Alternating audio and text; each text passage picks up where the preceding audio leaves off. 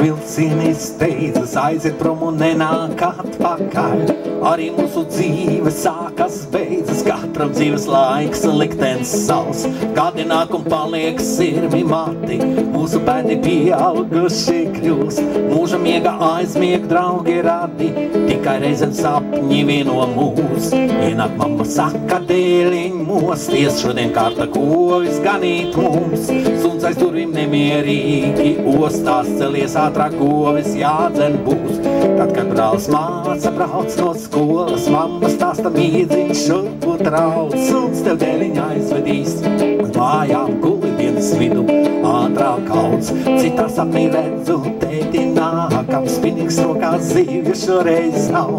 Atbrauc dzīvot izsūtītie rādi, jo tiem vairāk savas mājas nav. Brīvlaikā, kad sāku darba gaitas, mamma rītos agri celties liek, un kad darba maksā pirmo algu pērka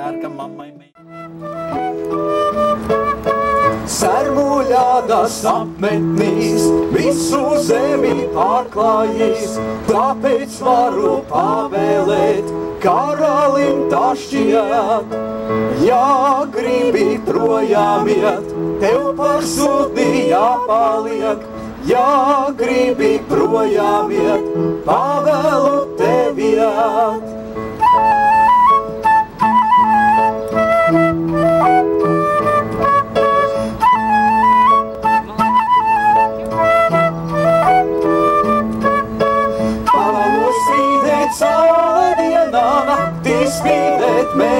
Mēnesim. Pavalos spīdēt saule dienā, naktī spīdēt mēnesim.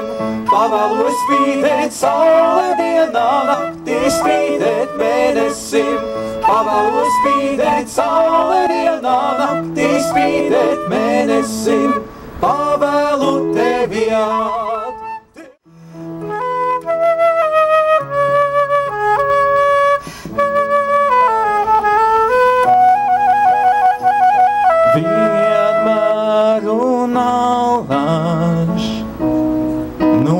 Nomodā viņš dara kā pavēlēts. Mm -hmm. Kopā ar zvaigznēm Laterna savs kopā ar rītu dzies. Labdien, un izies, labvakar aizsvecinās, labdien, jo tā ir pavēlēts. Labdien, un izies, labvakar. Jautā, Kā nokļūt kalnos, tas nav jāzina man. Kad kāds man jautā, kur redzēt sauli, tas ar nav jāzina man. Kad kāds man jautā, kas mažo puķes, es esmu neziņā. Kad kāds man jautā, kādēļ es sēžu, viņš nesaprot nekā. Es esmu neziņā par īslaicīgo, protams, neskar mani.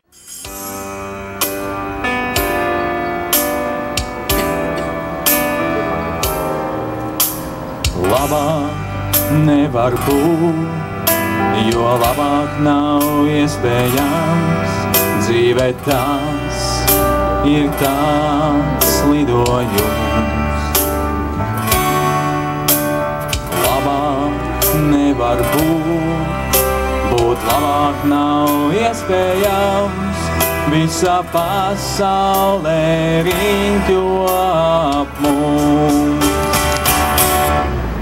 Mēs nākam no rītdienas uz vakardienu. Mēs nākam un meklējam to pavadienu.